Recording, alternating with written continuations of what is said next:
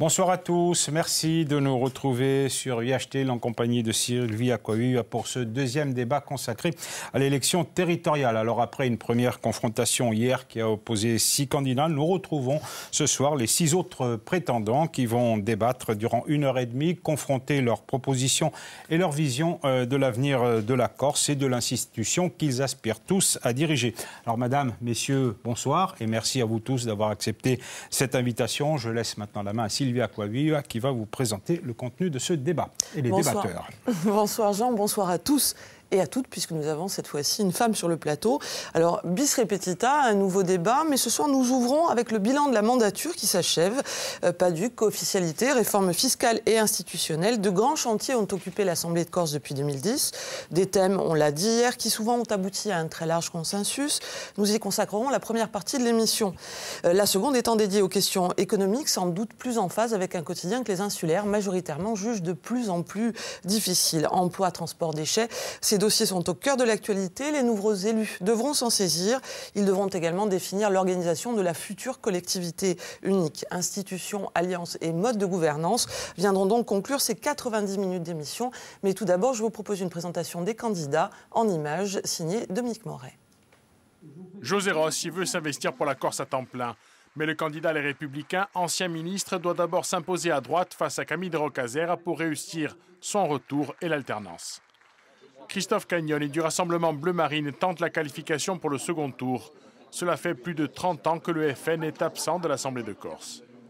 À gauche, le conseiller exécutif sortant, Jean Tsoukarelli, se pose en garantie républicaine. Co-officialité, statut de résident, il est critique envers certains choix de Pojagobi, mais il reste globalement solidaire du bilan. Moins critique sur les choix de l'exécutif, Jean-Charles Orsucci conteste en revanche sa gouvernance. La Corse à cœur se présente comme une liste de cadras désireux de créer une nouvelle gauche. Seule femme tête de liste, Emmanuel de Gentil a reçu l'investiture du Parti socialiste. En délicatesse avec Paul Jacobi, l'adjointe au maire de Bastia veut défendre une Corse qui ose. Enfin, Paul Félix Benedetti du Rhino se veut porteur d'une démarche renouant avec le nationalisme originel. En cas de qualification au second tour, une alliance est envisagée avec les autres nationalistes. Alors une précision avant d'entamer notre discussion. Le but est de débattre, bien évidemment. Vous pouvez donc, euh, Madame, Messieurs, vous interpeller, éventuellement vous couper la parole, mais surtout une chose, je vous le recommande, ne parlez pas tous en même temps, parce que sinon c'est la cacophonie. Le débat y gagnera en clarté et les spectateurs en compréhension. Voilà, ceci étant dit, commençons par un premier tour de table avec un retour sur les terribles événements de Paris, au-delà de l'horreur qu'ils inspirent. Est-ce que vous estimez qu'il nécessite ici encore une révision euh, politique, pas seulement de politique sécuritaire, mais également d'intégration afin de favoriser la cohésion sociale? Jean Tsoukarelli. Moi, je crois que d'abord, les terribles événements que, que nous connaissons euh, nous rappellent combien la République est importante, combien la défense de ces valeurs doit être au centre de nos préoccupations.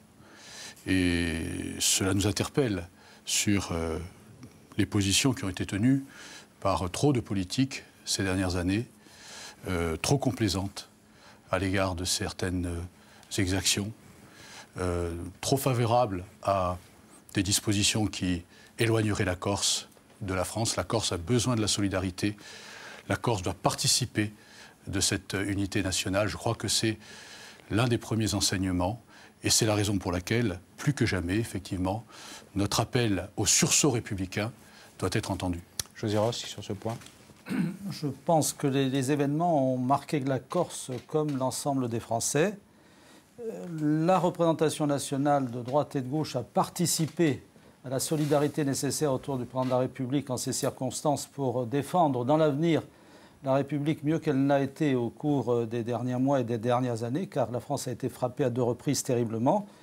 Mais effectivement, euh, la Corse a participé. Mais aujourd'hui, il faut peut-être éviter de, brouiller les enjeux des élections régionales à, la suite de ces événements. Il reste des enjeux essentiels pour notre île. Il faut certes que notre île se sente concernée par les risques de terrorisme. Et si la région doit accompagner à un moment ou un autre l'État dans ces mesures de protection, non pas en établissant des frontières, bien sûr, mais en, ayant une sorte de, démarche de prévention à l'arrivée en Corse. Il ne faut pas laisser qu'on puisse entrer dans l'accord en Corse comme dans un moulin, et nous accompagnerons ce type de réflexion. Par contre, le problème de l'intégration est un autre débat, beaucoup plus large que celui des événements qui viennent de se produire. Et je ne pense pas que le premier débat organisé à l'Assemblée de Corse, comme l'a proposé Gilles Simeone, soit celui-là. Sur la cohésion sociale, euh, Jean-Charles Arsouch Bon, sur ce sujet qui est très délicat, hein, sur lequel bien sûr nous avons encore une pensée pour les victimes, je crois qu'il y a une double dimension à la fois nationale et je crois que l'État doit assumer ses, responsabilités en matière de police, de justice, euh, d'éducation, mais il y a aussi un travail à faire localement parce qu'on sait très bien que le développement économique permettra de lutter contre une précarité, précarité où, le terreau de, l'islamisme se développe. Bien sûr, il faut réfuter tous les amalgames et évidemment nous devons avoir ensemble un projet de vivre ensemble sur cette terre et je crois que c'est important qu'on travaille tous ensemble. D'ailleurs, je pense qu'il faut éviter les clivages sur ces questions-là et au contraire essayer de faire en sorte que tous ensemble on puisse avoir la bonne réponse à ce fléau qu'est la dérive fondamentaliste. Pas de clivage, pas d'amalgame, euh, Christophe Cagnon Pas d'amalgame, mais euh, il, faut, il y a quand même des réalités. Nous avons une immigration en Corse qui est massive, des flux migratoires importants. Et j'ai été surpris hier euh, que personne n'en parle au, débat. il y a des, un chiffre que je voudrais vous donner, c'est sur les fichiers S en Corse. Il y en a 5 en Haute-Corse et 4 en Corse du Sud. Je l'ai su ce matin. Donc moi, je pense qu'il faut évidemment la cohésion nationale. Euh, évidemment, la Corse a souffert à, travers, euh, je crois, un des nôtres qui a été une personne qui a été euh, tuée au Bataclan. mais au-delà de ça, il y a notre responsabilité sur la question de migratoire et sur la question aussi des migrants. Moi, je voudrais quand même rappeler que vous avez en octobre tous voté la directive migrants. 250 migrants donc, qui vont être en Corse sur les deux années qui vont venir en Corse avec un octroi de 100 000 euros. Vous avez octroyé 100 000 euros et 20, 20 appartements, alors que nous avons euh, la précarité, nous avons les nôtres qui sont dans une situation difficile, euh, ce qui concerne l'emploi et, le, comment dirais-je, et, euh, et, le logement. et la première chose que fait la, enfin vous, hein, l'Assemblée de Corse, c'est de voter cette que j'ai ici. Voilà, réunion du 1er octobre sur le, la, Pardon Nous votons et nous assumons. Mais il faut assumer, il faut pas assumer avec l'argent, il faut pas assumer avec l'argent du contribuable corse. Euh, je crois que d'abord c'est au nôtre et ensuite effectivement si on a encore les moyens, on peut penser aux autres. Monsieur Cagnon, vous, clivez, vous voulez cliver la société alors que nous avons plus que jamais besoin euh, d'unité, d'unité au niveau national dit, parlé et même de cohésion nationale. J'ai dit cohésion nationale, oui, cohésion vous, vous êtes contradictoire. Vous êtes contradictoire. Respect, de respect. Vous êtes contradictoire. Mais je pense qu'on La cohésion nationale, c'est de ne pas euh, opposer les uns et les autres. Avec ces flux migratoires continus euh, on va vers une euh, avec des problèmes graves et des fractures vous mélangez graves tout, vous mélangez les, vous, mélangez les immigrés, les migrants qui sont euh, brimés chez eux et qui cherchent un, refuge parce que justement, je crois que la France est une terre d'accueil. Donc attendez, il, faut, pas, il, ne faut, pas tout confondre. Aujourd'hui, plus que jamais, ces événements montrent que nous avons besoin d'unité, d'unité nationale, d'un pacte social renforcé. Et la Corse n'est pas différente des autres régions sur ce point. Vous l'avez dit, il, y a des, il, y a des, fichiers S, ça veut dire que la Corse, elle n'est pas isolée du reste du monde.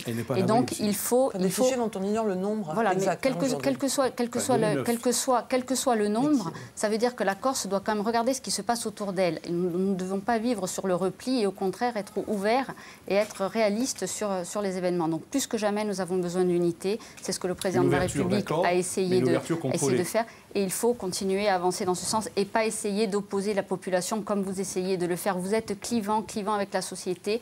Et je crois que c'est là-dessus que, c'est, là, là-dessus que les, citoyens doivent regarder comment ils, comment ils, devront faire. Avec nos, compatriotes, notamment en matière de, religion. Paul Félix Benedetti.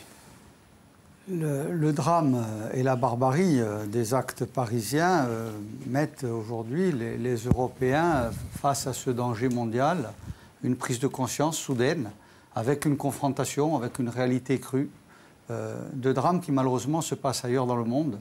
Et là, ça arrive chez nous alors qu'on pouvait penser euh, qu'il y avait un État de droit ou des États de droit européens qui auraient pu l'endiguer. Par contre, ce n'est pas avec ce prétexte de ce danger qu'on doit justifier une articulation jacobine parisienne qui doit se recentrer sur un État fort qui peut demain dans des drames comme ça, et avec les peurs que ça suscite, générer un État fasciste. C'est déjà arrivé, l'histoire se répète. Et moi, je dis que les régions ont encore plus le droit à leur libre administration pour essayer de créer des modèles, des modèles généreux, euh, qui soient peut-être opposés au modèle français, qui en termes d'intégration aujourd'hui euh, est en passe d'être en échec, avec euh, une communauté globale au niveau du sol français qui est assez compartimentée, et avec un drame où des nationaux français partent et reviennent pour se faire sauter. Moi, je ne voudrais pas que ça arrive en Corse. C'est vrai, il y a des fiches S, mais on doit tout faire par notre cohésion, nos liens familiaux, nos liens affectifs, les rapports avec nos voisins, les rapports avec les autres, pour essayer de créer une communauté humaine, digne, généreuse, intégrative. Et c'est pour ça que moi j'ai la prétention de dire qu'on a les moyens de faire en Corse, bien qu'on ait un taux d'immigration, y compris d'immigration d'Afrique du Nord, bien supérieur à la France, mais on a la capacité, parce qu'on est généreux, et parce qu'on a cette capacité historique d'assimiler les gens et de donner un contenu à ce qu'on voudrait faire pour un mieux vivre ensemble, qu'on doit au contraire demander le libre arbitre et la possibilité d'être nous-mêmes. Alors, euh, on aborde la première partie euh, du débat pour parler du bilan de la mandature. Certains ici en sont solidaires, même s'ils prennent euh, leur distance sur un certain nombre de sujets. Bilan que vous ne reniez pas, Jean-Charles Orsouch. Alors je crois qu'il faut être là-dessus plus prudent, Jean Vitus. Bien sûr que nous l'assumons. Oui, nous, nous l'assumons notamment, j'ai sur ma liste euh, des gens comme Marie-Hélène Padovani ou Babigneline qui l'assument, bien évidemment, euh, par loyauté envers les électeurs qui nous avaient mandatés en 2010. Qui ont quitté la majorité euh, en cours de mandature. Qui ont quitté la majorité, mais qui ont voté les budgets. C'était là où je voulais en venir. C'est-à-dire la loyauté nous a mis dans la disposition de, de voter les budgets pour permettre un fonctionnement normal. Mais je le dis très clairement, dans l'exécution budgétaire de ce budget, nous avons, nous, des divergences majeures. Nous estimons que les, offices et agences ont, fonctionné différemment.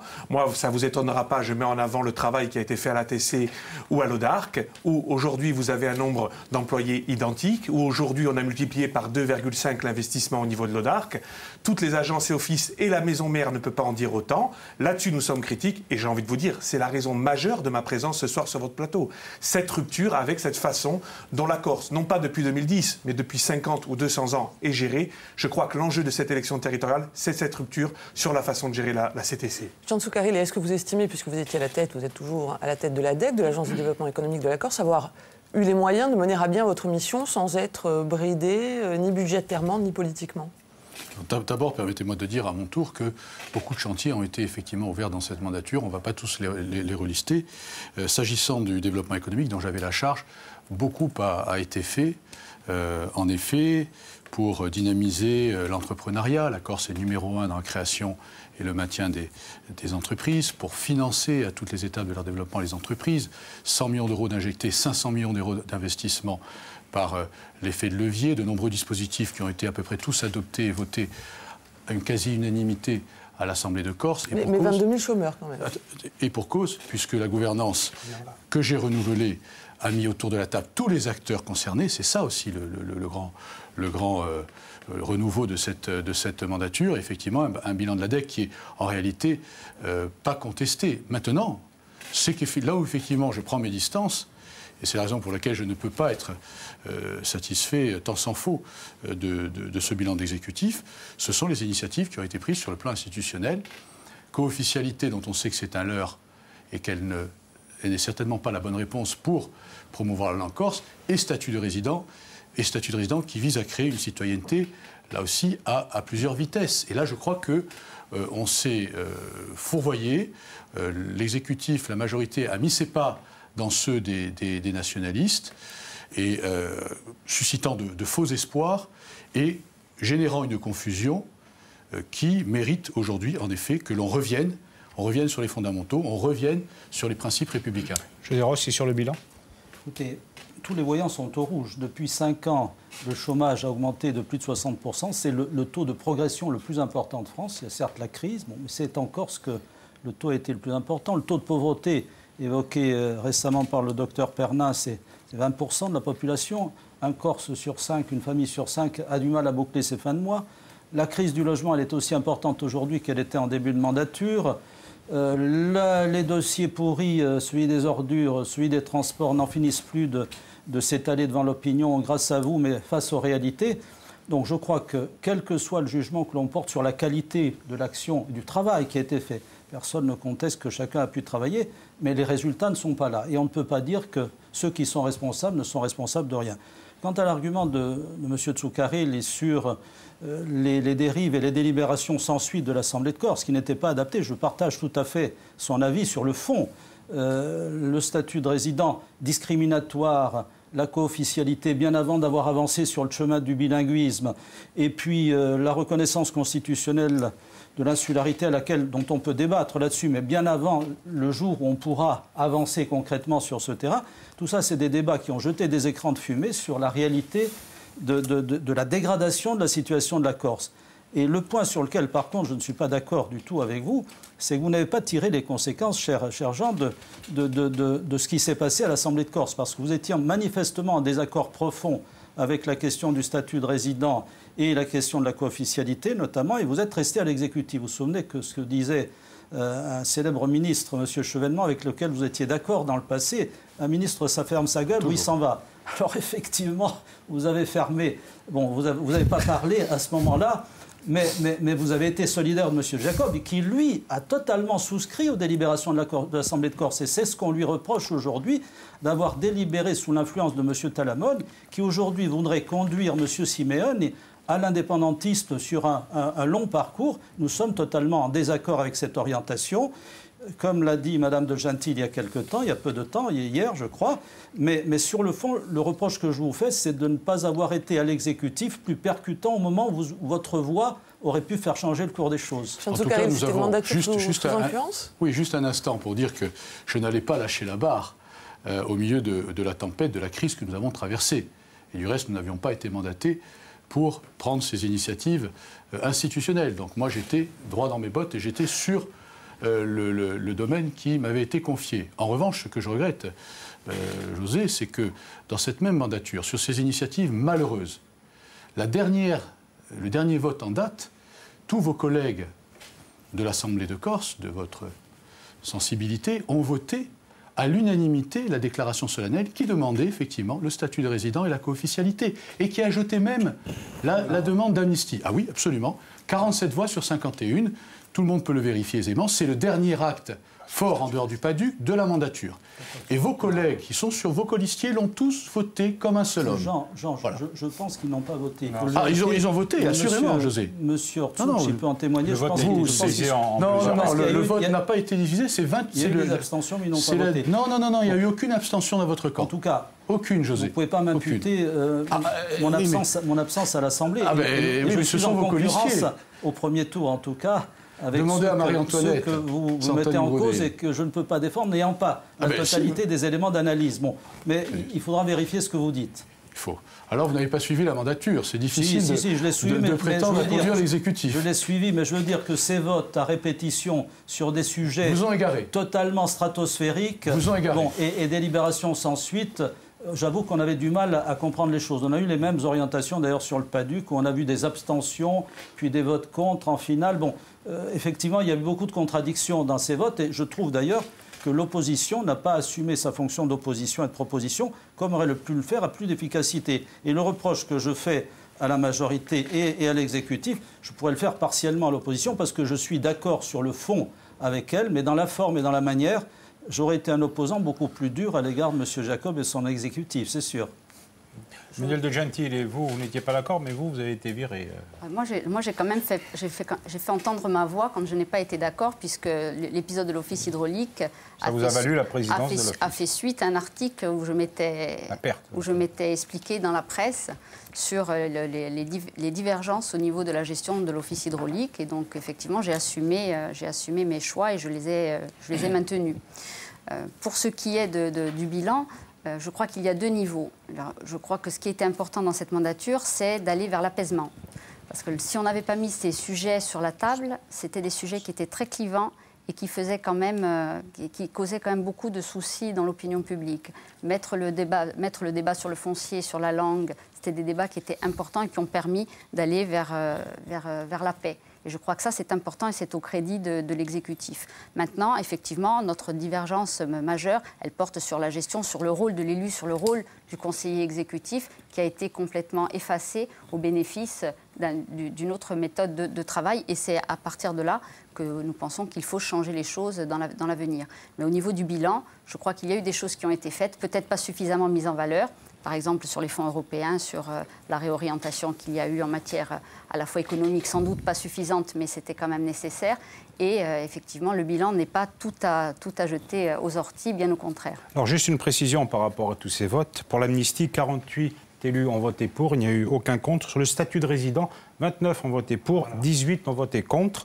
Quant à la co-officialité, 36 ont voté pour, il n'y a pas eu de vote contre. Voilà, c'était une précision à apporter. Donc il n'y a pas eu d'unanimité. Non, non, non, dans la déclaration. Ce sont le les... Non, les, votes, les derniers votes qui ont eu lieu. Non, le on vient de le vérifier. unique de la déclaration définitive, il est pas, il est pas, il est unique et il y a 47 voix, pas 48. 47 voix pour. Non, moi je, me permets de rebondir. Bon, je m'inscris totalement en faux euh, contre ce que viennent dire José Ross et Jean Soucaré. Je ne vais pas vous surprendre.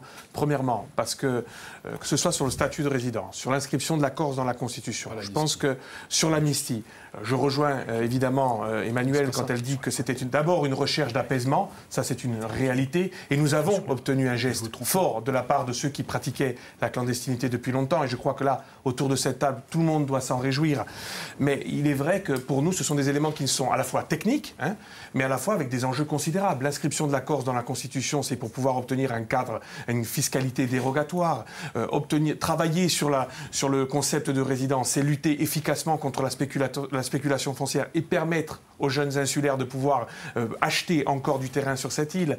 Euh, la co-officialité, bien sûr, ce n'est pas une baguette magique, mais c'est l'outil dont on peut espérer qu'il sera le plus efficace pour sauver cette langue. Parce qu'autour de cette table ce soir, on est incapable de faire un débat en langue corse. Et c'est ça aujourd'hui la réalité du terrain.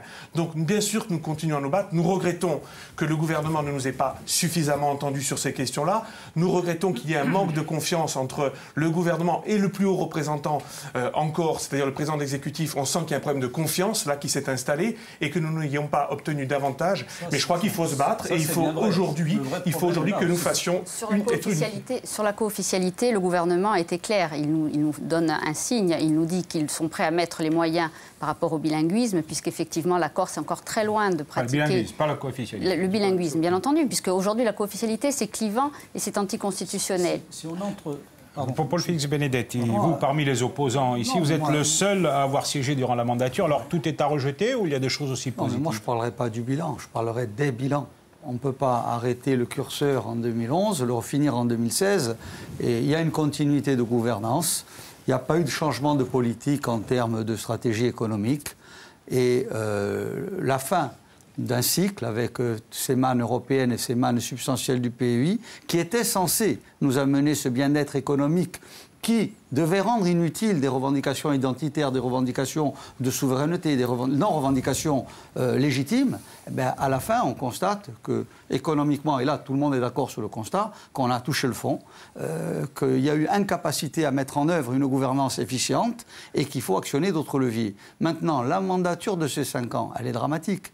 Elle est dramatique parce qu'au départ, ce sont des personnes qui prônent euh, une politique sociale forte. Et dans le même laps de temps, euh, il n'y a pas eu de réorientation des politiques. On a continué à accepter les politiques fléchées qui avaient antérieurement été décidées, mais qu'à aucun moment on a remis en cause en termes d'investissement stratégique, en termes de priorité. Demain, on doit faire des logements sociaux. Pourquoi on n'a pas monté des grues Pourquoi l'établissement public qui a été créé en office du logement n'a pas pris la décision de se substituer à des promoteurs qui n'existent pas? Pourquoi est-ce qu'on n'a pas essayé de faire de recentrer la politique des emplois, au moins les emplois publics, qui sont de la compétence exclusive de la collectivité de Corse, pour au moins 1400 d'entre eux, lorsqu'il y a des renouvellements de postes, de faire une stratégie en direction du rural.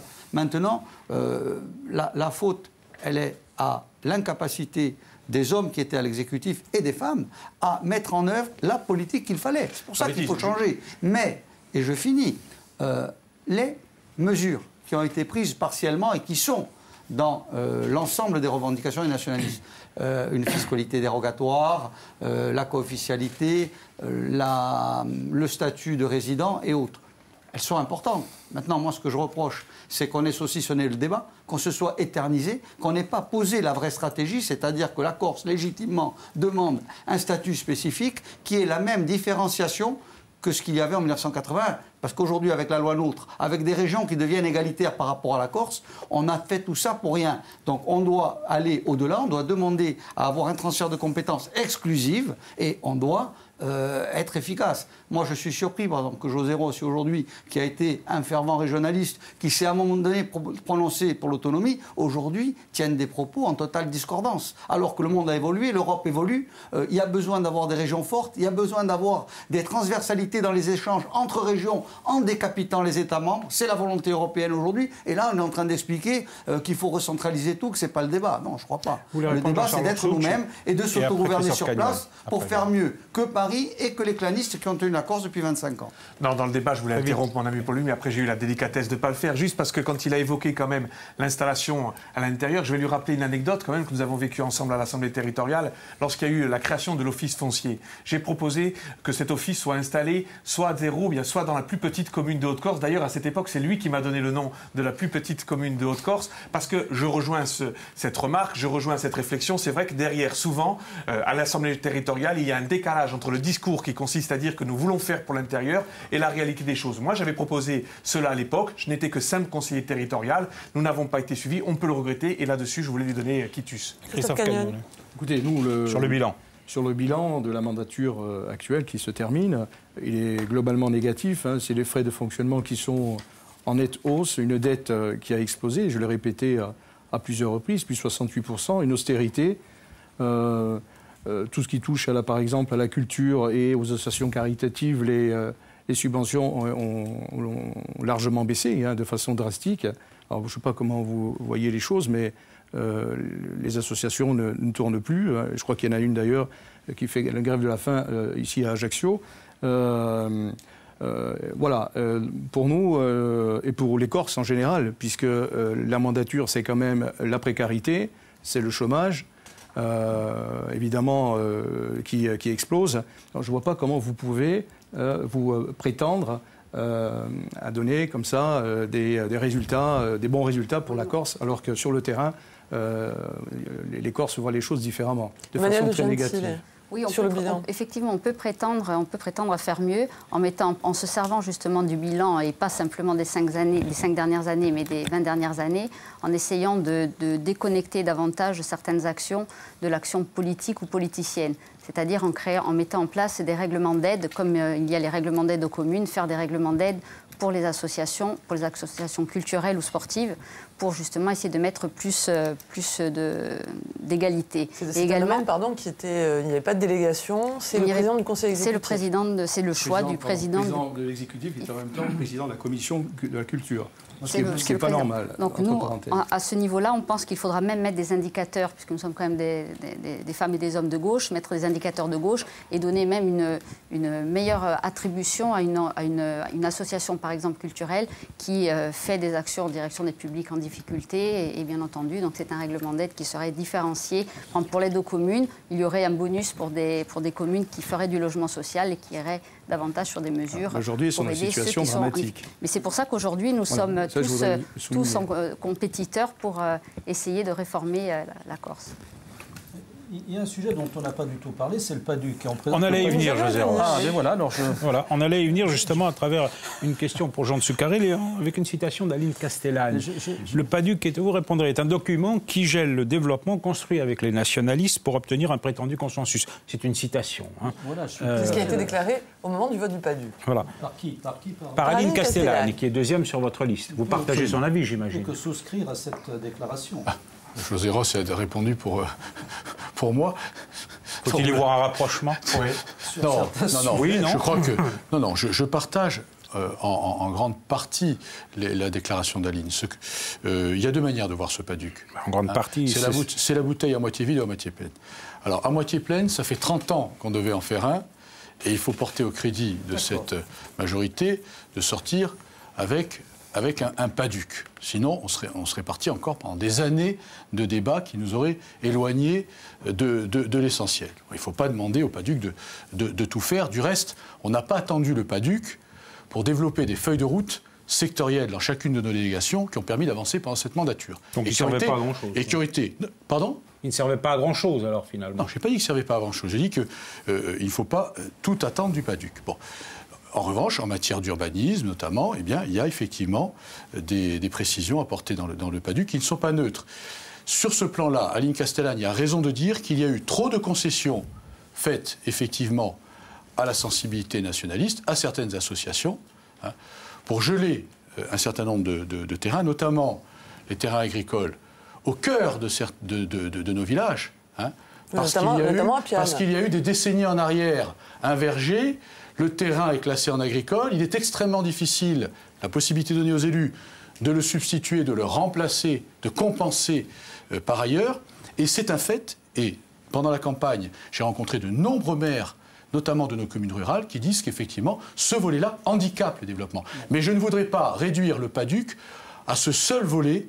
Et encore une fois, on peut avoir quand même une appréciation, euh, je dirais, euh, contrastée, équilibrée sur ce PADUC.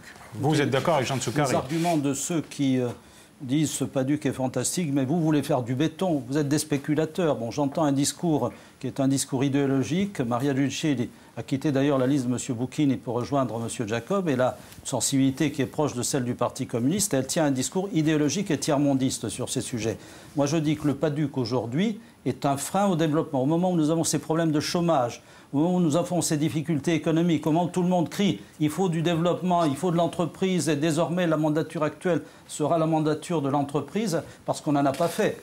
monsieur, monsieur Hollande, au moins, il dit je veux la croissance et l'emploi. Il n'y arrive pas. Bon, mais au moins il le dit. Est-ce que vous avez entendu M. Jacob, et pendant la mandature, dire je veux la croissance et l'emploi Et nous l'avons eu. Eh bien, vous l'avez eu. Comment? On a eu. Vous avez eu un encéphalogramme Non, non, non, on n'a pas eu un encéphalogramme. Attendez, je, voudrais terminer. Donc, je voudrais nous avons créé beaucoup d'emplois en Corse. Sur le PADUC. Ce qui ne suffit pas à résorber le chômage. Le PADUC est un frein. Le PADUC, et on le démontrera dans les mois qui viennent, est un frein au développement. Il met un corset sur la Corse. Il met la Corse sous cloche et il ne trace pas de perspective économique, de croissance. Vous le remettrez en cause si vous êtes majoritaire Attendez, j'y arrive. De croissance économique, même pas un taux de progression pour se projeter sur l'avenir. On ne lui dit pas s'il doit y avoir une croissance démographique ou si on doit rester tel qu'elle est. Les zones d'activité auxquelles vous êtes attachés, je le sais. Mais dans le PADUC, on ne retrouve pas une clarté suffisante sur le type d'entreprise qu'on veut implanter. S'il faut aller les chercher, je sais que vous y êtes attachés aussi. Mais cela, cela ça n'est pas, pas dans le PADUC de manière. Il ne nous empêchera pas de le faire, José Ross. Ah oui, mais ce n'est pas dans le PADUC. Non, mais il nous empêchera pas. Bon, et donc, euh, je vous dis très clairement, et, j'ai pris ce conseil d'un maire du Sud, qui est un maire éclairé du Sud, qui n'est pas très loin de chez vous, et je parlais du PADUC, je vous dis pas qui, mais vous avez deviné qui c'est. Bon, et il me dit, José, bon, euh, c'est le, PADUC, mais il faut pas attendre 5 ans pour le, pour le reviser. C'est dans la loi les 5 ans. Mais rien ne vous interdit d'engager des études très rapidement pour être prêt le jour où il pourra être revisé. Et il faut peut-être pas attendre 5 ans d'ailleurs, parce que ce qu'a fait la loi prévoyant les 5 ou 6 ans, la loi peut le faire par voie d'amendement pour réduire les choses. Donc les sujets sur lesquels nous sommes en désaccord fondamental avec Donc vous le ferez S'il faut le reviser, nous le reviserons. Mais d'abord, avant de le reviser, il y a toutes les procédures. Il, faudra le reviser. Il y, a il y a toutes les procédures qui sont en cours et qui seront lancées par différentes municipalités, qui vont aller à une contestation juridique du PADUC, qui va le rendre impartialement inopérant et qui va retarder les choix de développement. Et c'est ça qui m'inquiète beaucoup au moment où on est dans une situation difficile sur le plan économique. Paul Fix Benedetti, vous êtes le seul nationaliste à, vous être opposé euh, à ce PADUC, mais pas euh, pour les arguments qui sont développés euh, par José Ross ou Jean Foucault. Je suis opposé lorsque le PADUC est devenu une partition inachevée. On s'est mis d'accord en novembre 2014 sur des choix stratégiques. C'est de concevoir le développement avec une préservation des Corses et de leurs biens. Pour qu'on ressente notre économie sur des flux qui soient des flux internes à la Corse et qu'on arrête d'avoir euh, ce diagramme sagittal à sens unique de la Corse vers l'extérieur avec cette évaporation, avec ce pillage généralisé. Aujourd'hui, je prends un exemple. En 10 ans, il s'est construit 50 000 demeures en Corse, appartements, maisons. Il manque encore 15 000 logements sociaux. On a construit pour qui? On a mobilisé, on a capitalisé une économie pour qui? Dans le même laps de temps, cette artificialisation de l'économie génère des flux financiers qui nous font remonter en taux de PIB sur des strates qui sont au-deçà de la réalité économique du PIB marchand, qui est lié essentiellement à la consommation et euh, à l'argent des ménages. Et on a un chômage qui augmente et, quoi que dise M. Tsoukaril, une faillite généralisée de l'économie corse avec un nombre d'entreprises qui sont en liquidation judiciaire du double de la moyenne française. Donc, qu'est-ce que ça veut dire? Ça veut dire qu'on doit revoir l'économie pour la recentrer et il faut un paduc de préservation et il faut stopper l'économie du résidentiel et l'économie de la construction périurbaine. Pour ça, il faut des règles. Il fallait se servir de la possibilité que donnait le paduc dans certains aspects qui ont valeur de règlement hein, de, décret, de, qui a valeur réglementaire de décret, pour figer. On avait pris cet accord en 2014. Les terres agricoles, là où elles étaient, elles ne bougeaient pas. Et ainsi de suite. Ça a changé. Ça a changé parce qu'il y a eu la pression de nombreux maires, essentiellement euh, les maires du littoral. Lorsque ça a changé, les nationalistes n'ont pas réussi à refaire revenir le document. Moi, je suis resté euh, sur mes positions initiales. Parce qu'aujourd'hui, les terres agricoles, oui, elles sont figées. Mais elles sont figées dans l'esprit, dans la forme. On peut les substituer à d'autres sous réserve qu'elles aient les mêmes potentialités. Mais là, on déroge à la loi française qui dit que les terres agricoles, elles doivent être planifiées et quantifiées dès le départ. Et là, on a un exemple flagrant. Euh, Monsieur Santini à Calvi vient de faire un PADD préalable à son PLU. Il a sorti 95 des plus belles terres agricoles de Calvi qui sont à la périphérie à l'entrée de Calvi et il les substitue avec de la rocaille qui est en bas de la Figarille. Mais malheureusement, il a le droit de le faire parce que le PADUC lui permet de faire ça. Donc c'est pour ça que j'ai voté contre. Et les faits me donnent raison malheureusement. Christophe Cagnon, on ne vous a pas euh, beaucoup entendu sur ce, sur ce sujet, sur le, le PADUC. On est les seuls à ne pas avoir été à l'Assemblée euh, de Corse, donc euh, on n'a pas traité. ça ne vous empêchait pas de prendre position sur un, sujet qui est un sujet de société, puisque ça, doit faire société. Euh, le PADUC, ça, doit être en fait un outil de développement pour la Corse. Et, et pour nous, c'est ça l'important. C'est-à-dire que maintenant, on est dans une situation économique quand même qui est très difficile et il faut avoir des outils pour, pour développer la Corse. Euh, pour aider les, TPE, les entreprises, les commerçants. Donc tous les, tous les outils possibles à disposition pour, euh, pour un développement. Euh, donc le, voilà, moi c'est ce que je peux dire sur le PADUC. Sur ce que vient de dire Paul-Félix Bénédette sur les terres agricoles ben, Sur les terres agricoles, si... je dirais que si on permettez, parce que M. Cadet n'y arrive, pas sur le PADUC. Alors je vais l'aider, puisque moi je l'ai voté, je suis le seul à l'avoir voté, puisque j'étais à l'Assemblée de Corse. Vous dire que la question n'est pas forcément de figer des terres agricoles. Quand euh, le Conseil exécutif est venu à la rencontre des maires pour savoir comment on devait faire, effectivement, il y a cette problématique. On a été, on a été embrouillé. Le document a été défini. Non, mais on sait, on sait aussi que moi j'ai vu. Moi j'ai un document modifié, il y a transgression d'un accord politique. J'ai vu poser sur le PADUC des terres où il y avait des maisons. Bon, je pense qu'aujourd'hui, ce qu'il nous faut vraiment aujourd'hui. cartographie, mais elle ne non, pas des petites, il y avait de grosses erreurs de modifier l'esprit. Par contre, aujourd'hui, on a la possibilité de faire de la substitution. J'insiste en disant qu'aujourd'hui, dans le cadre des espaces agricoles, il faut surtout une politique différente euh, sur le sujet, notamment en imaginant du gagnant-gagnant pour permettre effectivement l'installation d'agriculteurs dans ces zones-là, mais bien sûr pour que les gens ne se sentent pas spoliés. Moi, pour revenir sur ce document, vous me permettrez, Jean Vitus, je rejoins quand même, euh, en ayant voté et en, et en ayant fait valoir en commission, mais à différence, notamment l'absence, par exemple, de courage de l'exécutif sur le fait d'implanter des golfs publics. Par exemple, là, on aurait dû aller jusqu'au bout. Sauf que le président a demandé à la conseillère exécutive qui voulait le faire, Vanina Pierre pour la citer, de ranger euh, dans ses cartons le sujet. Je crois que là, nous aurions dû avoir. On n'arrive pas à avoir. Et là, l'ambition aujourd'hui, c'est le moyen d'avoir un tourisme qui se développe, un tourisme à l'année. Et là, on a manqué d'ambition. Il faudra revoir ce document pour lui donner une impulsion de développement beaucoup plus importante. Mais malgré tout, il était important d'avoir ce document pour asseoir une certaine protection. Je ne partage pas la lecture urbanistique de José Ross. Juste, juste, juste, qui n'a pas encore pris la parole, pardon, sur, sur le Paduc. Est-ce que c'est un, un projet qui peut effectivement impulser un développement ou pas? Alors, je crois que ce qui est important de voir à travers ce PADUC, c'est que c'est quand même une avancée, puisque ça faisait effectivement de nombreuses années que nous l'attendions. Et quand on voit aujourd'hui le nombre de PLU qui sont rejetés, on se rend compte qu'avoir un document cadre, c'est quand même quelque chose d'essentiel. Maintenant, qu'il ne fasse pas un consensus à 100%, on peut le comprendre, parce que je crois qu'il n'y a aucune règle, aucun règlement, aucune loi qui peut être euh, opérationnelle et excellente du premier coup. L'avantage, c'est qu'effectivement, on peut revenir dessus, on peut travailler à la marge ou en profondeur. Et je crois qu'il faudra le faire, bien entendu. mais il a, le mérite, il a le mérite d'exister et de nous donner un cadre réglementaire sur lequel on va pouvoir travailler et justement voir si on peut impulser quelque chose ou pas. Ce qui est important, c'est de revenir sur l'essentiel. c'est de voir comment la Corse va pouvoir se développer à partir des travaux qui ont été faits. effectivement, le développement économique pour essayer d'essayer de contrebalancer une économie publique tout en maintenant un service public, tout en développant l'interaction entre l'urbain et le rural, ça c'est important. Et il faudra effectivement revisiter le PADUC pour vérifier qu'il y ait vraiment concordance entre les politiques nouvelles mises en place et les règlements et tout ce qui est opérationnel.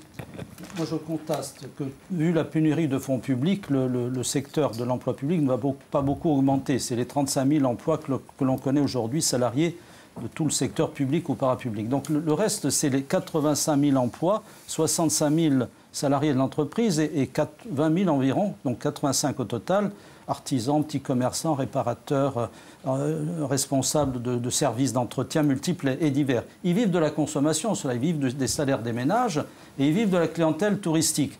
Eh bien, pour faire prospérer ce monde de l'entreprise, avant de tirer des plans sur la comète et de transformer la Corse en Silicon Valley, qu'il faudra, je suis tout à fait d'accord pour diversifier les emplois, euh, tout à fait d'accord pour même aller chercher des entreprises, des multinationales qui viennent créer des activités que nous ne sommes pas en mesure de créer. Bien sûr qu'il faut le faire. Et nous avons des talents pour, pour, pour, pour aller dans cette direction. Mais on ne peut pas laisser la Corse sur un champ de ruines. Si nous ne créons pas aujourd'hui 1500 emplois par an, eh bien le chômage dans 5 ans, il ne sera pas à 22 000, il sera à 30 ou 32 000. Et qui va les créer? Puisque l'emploi public a épuisé ses ressources, on va remplacer en gros les gens qui partent à la retraite si on n'applique pas la règle du 1 sur 2 de l'État au plan national. Bon, et au niveau de l'entreprise. Personne ne l'a jamais fait, José Rossi. Non, mais d'accord, mais bon, raisonnons sur une hypothèse optimiste où l'emploi public, les 35 000 emplois sont maintenus et ils sont déjà très largement supérieurs à, ce qui existe au plan national dans les autres régions. C'est dans le, secteur de l'entreprise et le secteur de l'artisanat, du commerce, qu'on va créer des emplois. Ils vivent très largement de l'économie de consommation que tout le monde conteste. Et je ne vois pas comment on peut avancer et sauver ces secteurs si on dit, mais ça c'est les vieux secteurs, mais vous, vous êtes rétrograde parce que vous défendez le BTP, le commerce, l'artisanat. Je défends les gens qui sont sur le terrain. Effectivement, si vous les laissez mourir, bien vous ne construirez pas la nouvelle économie sur, sur un champ de ruines. Ça, je suis formel. Oui, avant peut-être qu'on clôture la, la, page sur le développement économique, simplement dans les propositions, effectivement, euh, il faut. J'espère que non, je ne sais pas. J'espère que non. On a, on a, beaucoup de choses à dire. Non, je voudrais revenir sur ce qui a déjà été évoqué très clairement. Moi, je crois qu'il faut continuer, accélérer dans la voie qui a été ouverte sous cette mandature, euh, en partie par, par mes initiatives. Je crois qu'il faut très clairement afficher que la Corse doit tourner le dos au repli et faire le pari de l'ouverture. Ça vient d'être dit, mais notamment. à Paris, hein. Non, l'ouverture. Elle est dans le monde entier. Non, l'ouverture est dans, dans le monde entier. Elle est surtout l'ouverture pour auprès d'investisseurs qui peuvent nous aider à créer l'écosystème dans des domaines d'activité de haute technologie, en plus, on de haute valeur. Non, non, non, il faut ben, justement. il y a un choix. On n'est pas d'accord sur le modèle. On ne peut pas être d'accord. Nous, nous faisons le choix. Aujourd'hui, aujourd'hui, il faut faire le, choix des, euh, des, entreprises à haute valeur ajoutée, d'emplois qualifiés. Et cela, à un moment donné, si on veut le faire, aujourd'hui, peut-être plus que jamais, la Corse est en mesure de le faire comme toutes les autres régions, d'attirer des entreprises. Ça suppose notamment. Quelle est l'attractivité de, la Corse aujourd'hui pour, des investisseurs extérieurs Elle existe, non, elle existe de l'extérieur. Elle existe, bien évidemment. Mais ils ne sont pas nombreux à venir s'y installer. Non, hein. mais pour cause. On sort, mais attendez, on sort quand même, on ne va pas se cacher, de 40 années de violence, etc. Aujourd'hui, on a une situation justement d'apaisement, mais l'image, elle met un temps à changer, elle est en train de changer. Et c'est pour ça qu'il est très important de ne pas faire des interférences avec un statut de résident qui, dans le même temps, dirait Écoutez, venez, venez chez nous, les entreprises, venez créer des emplois qualifiés. Mais en l'occurrence, il n'est pas en place. Ce statut de résident, il n'est pas près de l'Est. Mais c'est anticipe. De louer une maison. Non, non, non. Une entreprise, elle peut vouloir acquérir ses bureaux son immobilier. Vous allez lui dire, venez en Corse, mais on va commencer par mettre un périmètre. C'est pas ça qui est visé par le statut de résident. Non, c'est pas ça qui est visé, mais c'est l'image qui en est rendue. Et là, il y a des choix, il y a des choix très importants C'est un mauvais signal. Ça donne un mauvais signal. On est dans la caricature, là, excusez-moi. On est sur le vrai. Deuxième point, excusez-moi. Deuxième point. Deuxième point. mal ressenti que ça correspond pas. Il faudra faire alors. Non, non, c'est pas le sujet. Mais pour le moment, ça ne recouvre pas de réalité. C'est un principe. Deuxième idée. Deuxième idée, pardon qui n'est pas compatible avec certaines missions. Deux, la diversification d'activités. Oui, dans un certain nombre de filières d'avenir, on les connaît tous. Ça ne veut pas dire, je rejoins Jean aussi là-dessus, qu'il faut mettre au rebut le BTP et le tourisme. Bien au contraire, ça reste, et ça restera longtemps encore, les deux principaux moteurs de notre économie. Et c'est pour ça qu'on s'est battu avec le BTP, pour sa signature de la charte de la commande publique, pour assurer des prêts de trésorerie, relais là dans une période particulièrement difficile. C'est pour ça que l'ADEC, pour le compte de l'ATC, Jean-Charles, a mis en, œuvre son euh, plan de, défense, de soutien des entreprises en difficulté pour sauver un certain nombre d'établissements hôteliers. au secours de l'ADEC, il me semble. Non, non là, en l'occurrence, c'est l'ADEC qui a mobilisé son propre dispositif pour soutenir des entreprises touristiques en difficulté. Voilà, il y a beaucoup à faire là-dessus. Et enfin, ça a été dit très clairement, L'économie sociale et solidaire, on y reviendra peut-être parce que la précarité. Donc, il faut qui, est, qui est en crise. pour les aider encore plus. Les, entreprises corses se sentent quand même asphyxiées parce qu'aujourd'hui les banques ne jouent pas le jeu et donc quels que soient les, outils qui ont été mis en place, ils sont nécessaires. Il, manque, il, y a, beaucoup d'outils financiers, il faut continuer à les articuler. Donc ils existent, ils ont moins le bénéfice, le bénéfice d'exister, mais il va falloir continuer à les articuler pour leur donner une pleine puissance. Il va falloir aussi mettre autour de la table tous les acteurs, mais je crois que pour compléter la, proposition de, José Ross, il n'est pas question pour nous de dire que le BTP ou le tourisme ne sont plus euh, des axes majeurs de l'économie de la Corse. Mais nous savons très bien qu'il va y avoir des tournants dans cette économie avec, bien entendu, la fin du PUI qui est bien entendu pour dans 5, 7, 9 ans. On pourra peut-être même traîner encore un petit peu, mais on sait que derrière ce PUI, il ne va peut-être rien y avoir en termes de dotation massive de l'État, puisqu'il y a, euh, il y a diminution euh, drastique à, à tous les niveaux. Il faut que nous commencions à anticiper, puisque justement c'est ce qu'on demande à l'homme politique ou à la femme politique, c'est d'être dans l'anticipation. Il faut qu'on travaille à une autre économie qui viendra compléter cette économie importante que représente le BTP, le tourisme. Donc d'un côté, il va falloir continuer à trouver les moyens et les ressources financières pour impulser un développement public, mais aussi ce développement privé indispensable. Et avant même d'aller chercher les, gens à l'extérieur, on peut travailler sur nos, sur nos talents. C'est-à-dire qu'aujourd'hui, la Corse, elle a des ressources, elle a de l'or en barre avec l'environnement, puisque l'environnement est reconnu au niveau international comme euh, l'avenir, donc que ce soit l'environnement dans les ressources vertes, je dirais, ou les ressources de la mer. Donc nous, nous, pensons qu'il va falloir travailler à identifier très rapidement ce que la mer peut apporter à la Corse. Aujourd'hui, on parle d'un constat, pardon Emmanuel de Gentil, où on a quand même 30 euh, 000 fonctionnaires en Corse, ce qui est énorme, hein, c'est 93 personnes pour 1000 habitants. C'est 40, 40 des effectifs dans la fonction publique territoriale. Il est, évident que ça ne va pas pouvoir continuer sur cette. sur cette justement, c'est qu'il va falloir travailler à une nouvelle économie, une économie qui vient en complémentarité du BTP et du tourisme, sur la viticulture, sur l'agroalimentaire. On entend beaucoup parler d'économie productive, notamment dans, notamment dans le Paduc. Je donne des exemples clairs. Notamment dans le Paduc, on s'appuie beaucoup sur l'agriculture. Or, il y a davantage de départs en retraite aujourd'hui que d'installation. Donc, euh, Mais c'est pour ça qu'il faut réorienter complètement cette politique économique, euh, cette politique économique de la Corse, en essayant de jouer gagnant-gagnant. La collectivité aujourd'hui, elle peut être sur les services publics traditionnels ou réorienter les services au public pour qu'ils aillent vers un, levier beaucoup plus économique. On le voit, les fonds européens aujourd'hui doivent être massivement euh, orientés vers le, soutien aux, entreprises et c'est à travers les entreprises qu'il y aura la création d'emplois. Et donc automatiquement, nous, nous devons réorganiser pour qu'il y ait un lien entre le rural et l'urbain. Et c'est Paul Félix qui le citait, il faut vraiment un plan pour le rural parce qu'il faut réinstaller des familles dans l'intérieur. Qui dit réinstallation dit dynamique de territoire. Qui dit dynamique de territoire dit qu'on pourra encore aider à l'installation ou à créer une économie du rural.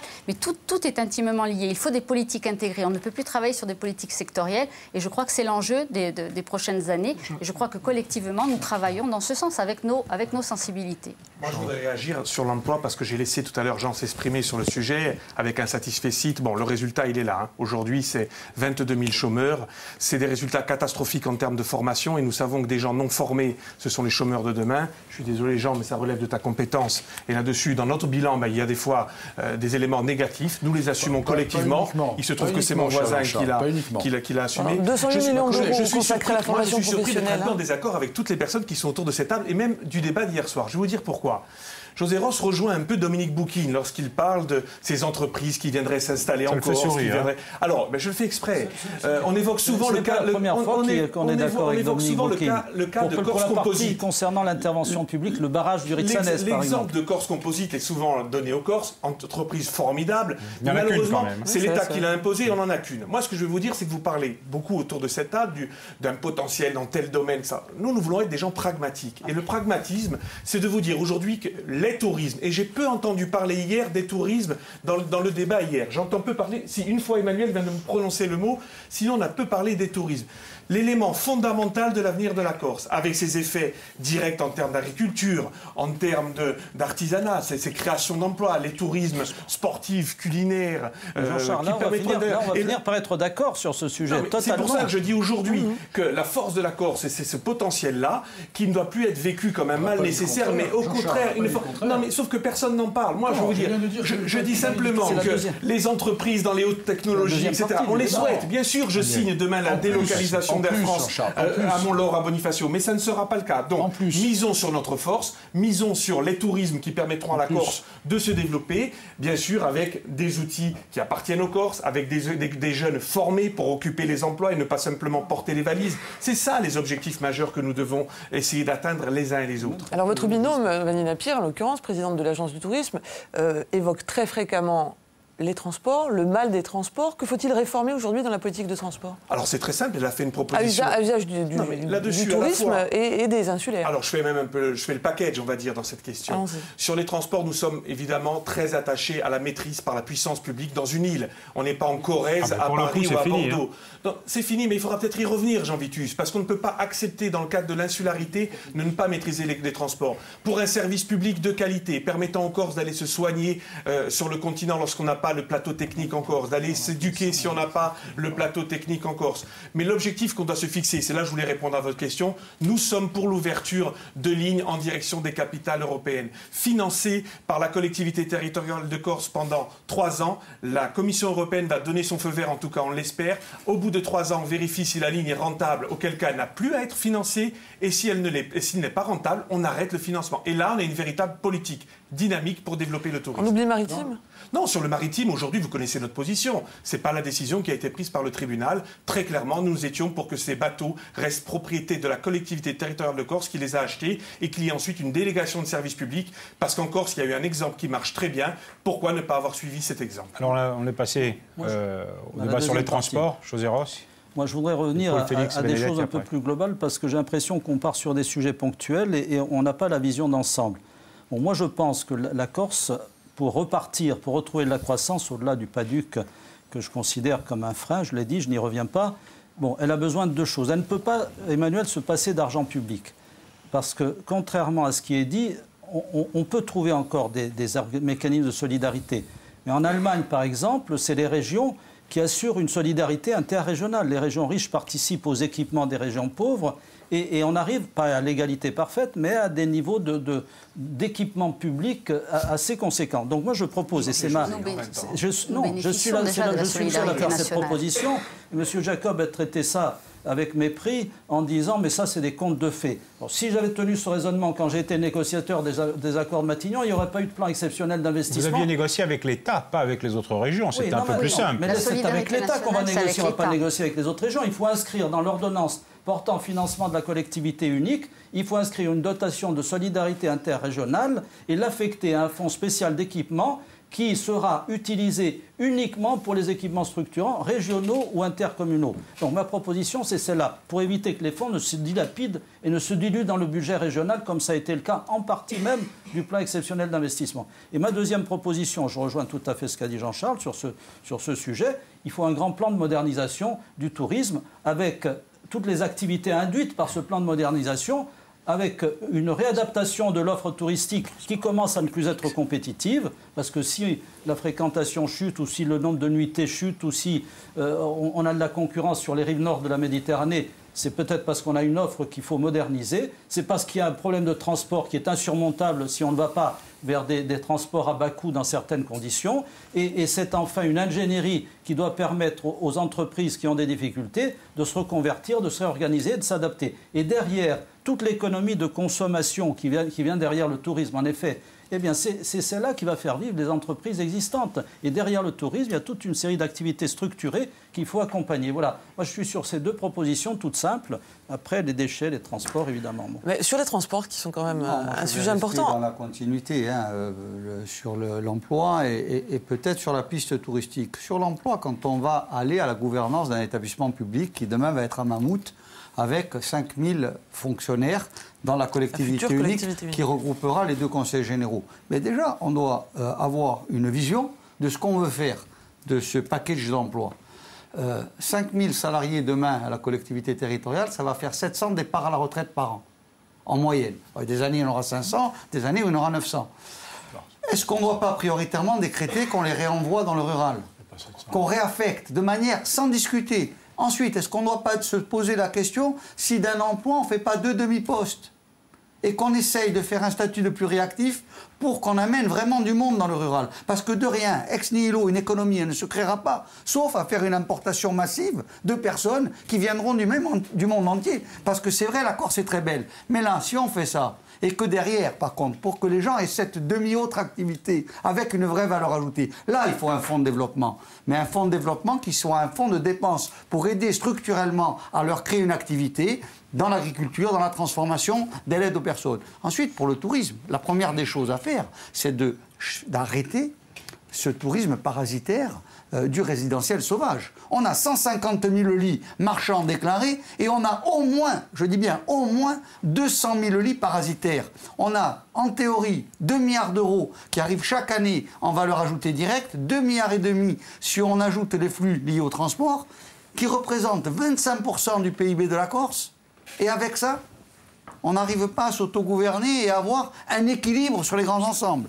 C'est que, honnêtement, hein, il y a eu les mauvaises personnes au mauvais endroit pendant très longtemps. Et je suis persuadé que si on actionne les leviers stratégiques et qu'on fait tourner l'argent, qu'on arrête les flux extérieurs pendant quelques années pour que les gens se réapproprient la Corse et se réapproprient un niveau de vie décent, là on aura une économie. Mais ça demande une initiative publique forte. Parce que le, privé ne va aller que là où il y a du gain. Et le gain, il est où aujourd'hui? Il est de construire des immeubles à Porto Vecchio, à Sagone, à Sartène, en bord de mer, dans des endroits qui sont attractifs, dans des endroits où il n'y a rien aujourd'hui. Eh bien, personne ne va y aller. Donc on doit planifier, on doit avoir une politique publique qui soit directive vers le rural et on doit avoir une décision d'arrêter les constructions autour des zones qui sont déjà urbanisées. Ça aurait dû être un axe stratégique dans le PADU. Une demi-heure d'émission, j'aimerais qu'on aborde le problème des transports parce que c'est quelque chose qui va revenir dès le mois de janvier, dès le début de la prochaine assemblée euh, dans l'hémicycle. Christophe Cagnon, il y a quelques semaines, le tribunal de commerce de Marseille a désigné la nouvelle entreprise qui dirigera la future compagnie euh, euh, régionale. Euh, Patrick Roque, exactement.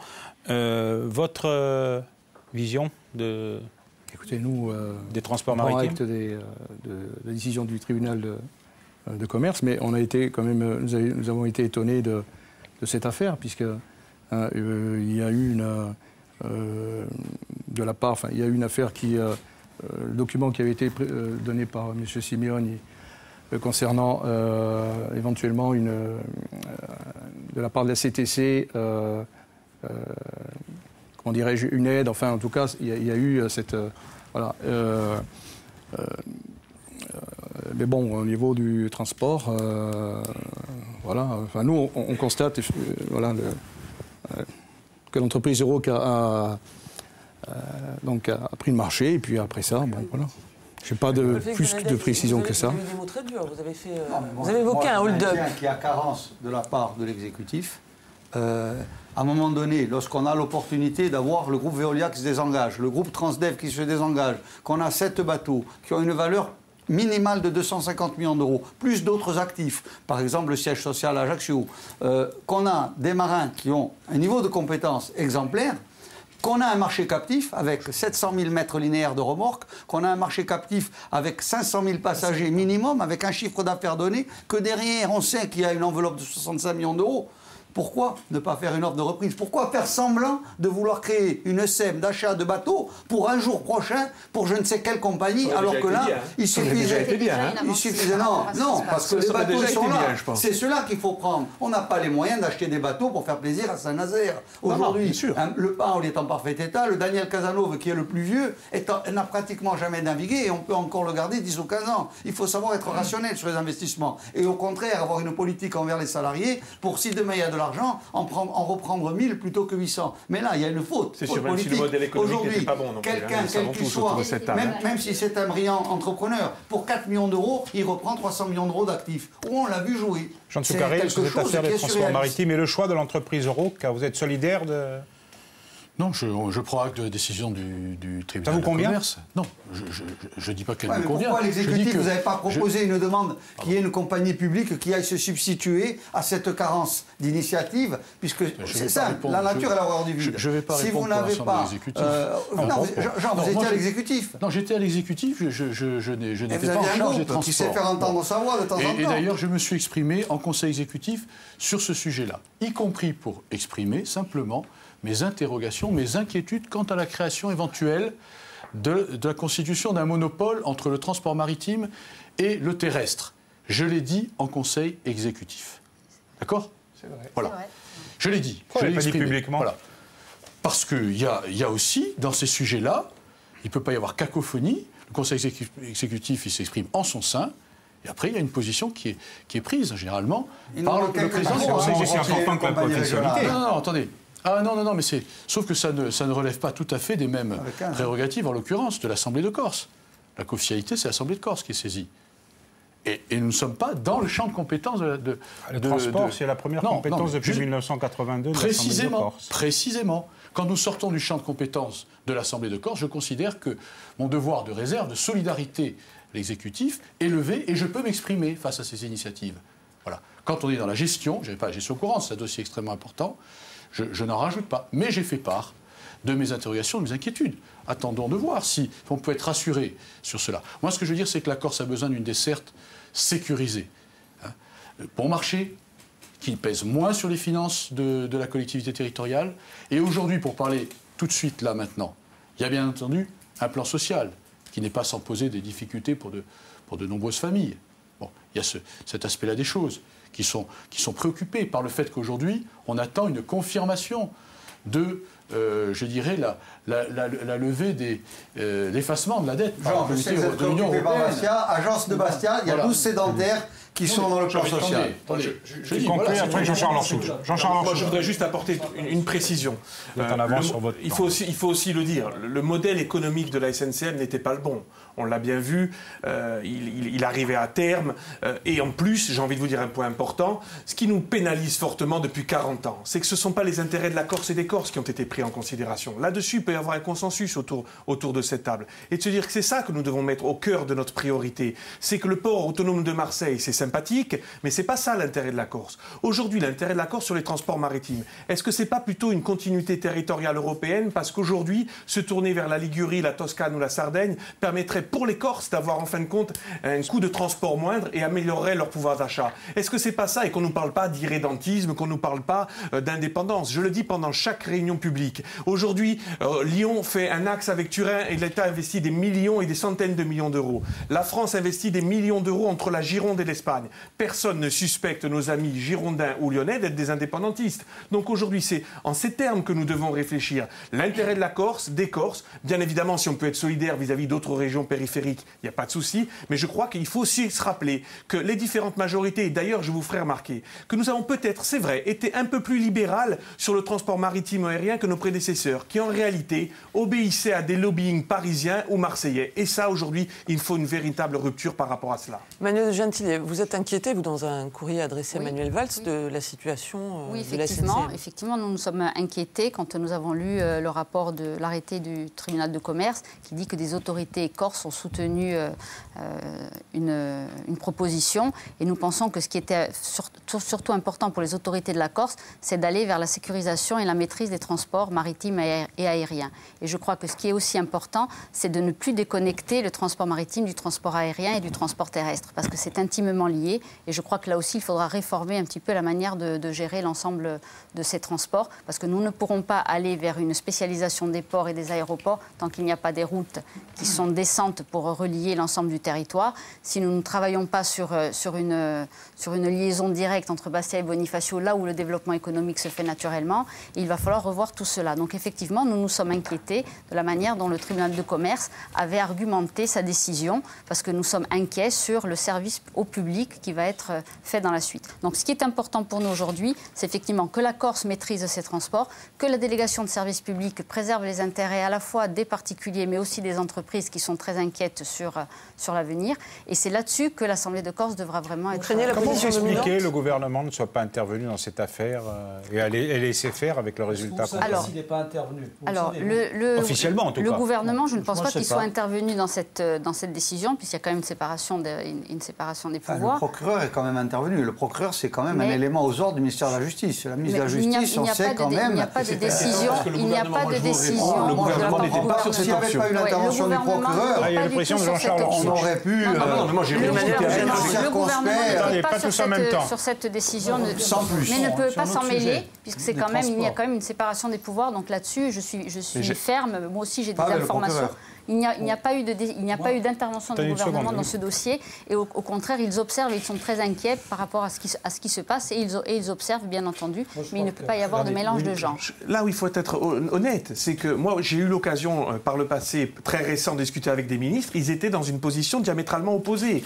Et aujourd'hui, c'est vrai, comme Paul Félix, je me suis fortement interrogé sur la position du procureur et la décision, pas qui a été prise, parce que ça, à la rigueur, Emmanuel vient de le dire fort justement, il y a une indépendance. Elle a les mêmes informations que moi et on est tous les deux surpris de la position du procureur et de la décision qui vient qui en découle. débats sur le rachat de la SNCM conduisent à occulter complètement le problème essentiel. Le problème essentiel, c'est quoi?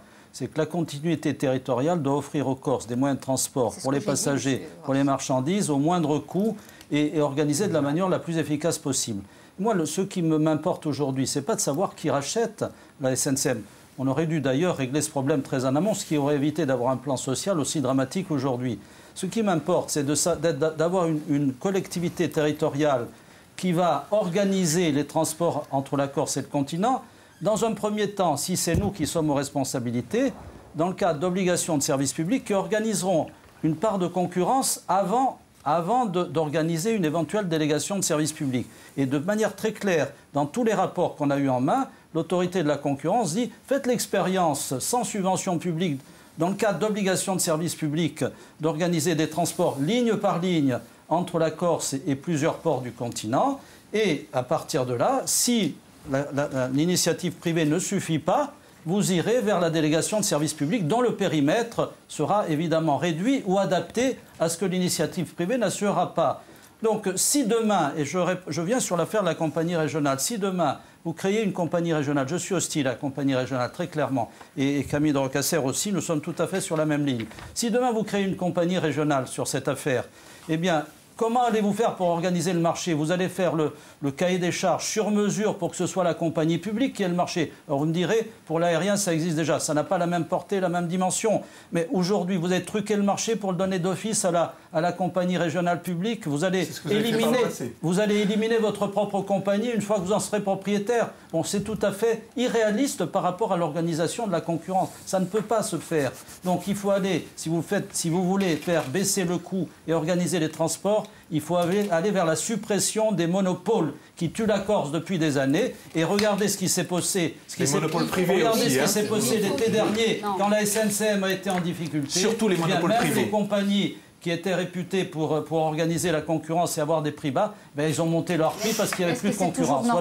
Est-ce que c'est toujours normal que nous soyons connectés au port le plus loin de, la Corse? Donc là aussi, je suis d'accord avec Jean-Charles Orsout, il faut, il, faut aller, il faut aller vers une continuité territoriale européenne, car en termes économiques, l'Italie est quand même très très porteur pour la Corse. on n'arrive pas à organiser la continuité territoriale avec le continent français notre ami Jean-Charles veut se lancer dans la, eh continuité territoriale européenne. Avec, le même argent. On a une fausse concurrence. On a une fausse concurrence. Dégager des priorités, ce qu'on n'a pas fait depuis 40 ans, ce que vous n'avez pas fait. C'est-à-dire que pendant longtemps, vous avez euh, obéi aux ordres de Paris et de Marseille. Nous, aujourd'hui, on propose une rupture sur ce sujet. On a une chance extraordinaire, c'est qu'on va passer d'un monde à l'autre. Organisons le nouveau monde sur la base des règles que l'on applique partout en Europe et n'essayons pas de rester. Justement, nous sommes la seule région d'Europe à ne pas toute refermer sur nous-mêmes dans ce domaine spécialistes du monde maritime disent que ce sont les liaisons les plus courtes qui sont les plus rentables et les plus efficaces. C'est tout simplement ce qu'il faut mettre en Alors, il y a un autre domaine dans lequel on n'arrive pas visiblement. Les, les, entreprises de Corsica Maritime dire qu'ils n'avaient pas besoin d'argent public pour organiser le fret entre Bastia, Ajaccio, sans doute un port de Balagne et le continent. Bon, si on peut transporter les marchandises sans mettre d'argent public, mais il faut regarder si c'est possible. Pourquoi voulez-vous mettre de l'argent là où on n'en a pas besoin?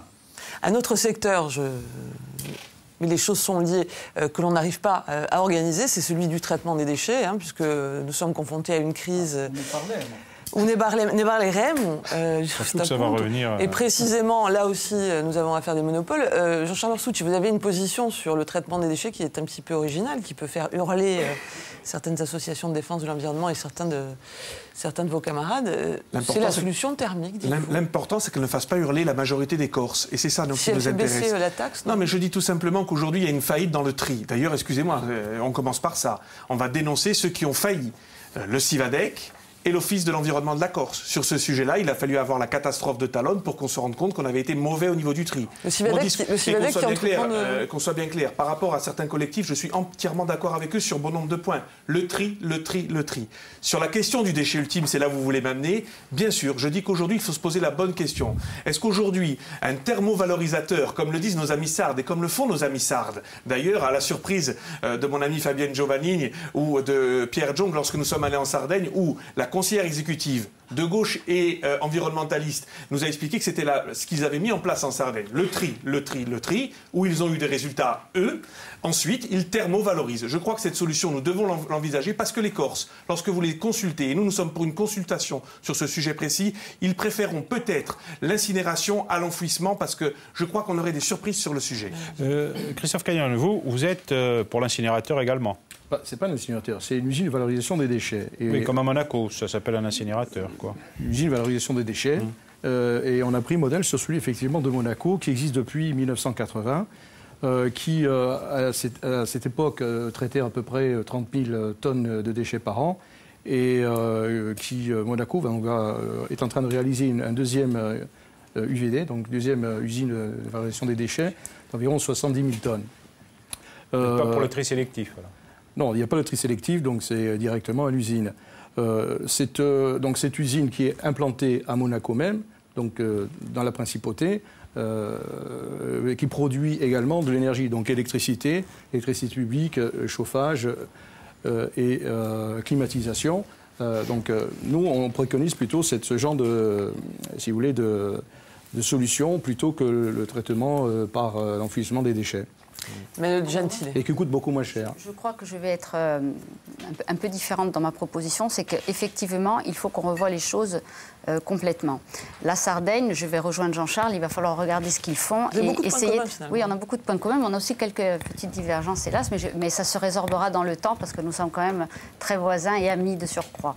Euh, donc euh, je, crois que la, Sardaigne n'a pas, la même, pas la même dimension que nous. Il y a 1,6 million d'habitants. Et je crois qu'on oublie qu'aujourd'hui, nous ne sommes que 300 000.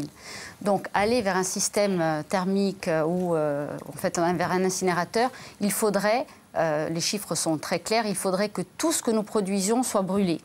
Donc la, problématique pour moi, elle n'est pas tant dans les fumées, parce qu'aujourd'hui, il y a quand même des règles qui font qu'il euh, y a des contrôles drastiques euh, au niveau européen, et donc les entreprises, elles sont quand même assez sérieuses, mais c'est plutôt que nous n'avons pas le volume pour pouvoir euh, travailler de cette manière-là. Ça voudrait dire que nous abandonnons complètement le recyclage et le tri, et c'est à, l'encontre de, de, la stratégie de protection et de préservation des ressources. En revanche, ce qui pourrait être très intéressant, c'est au lieu de s'inspirer de la Sardaigne, c'est de faire une coopération avec la Sardaigne. C'est-à-dire qu'aujourd'hui, nous sommes la plus petite des régions françaises.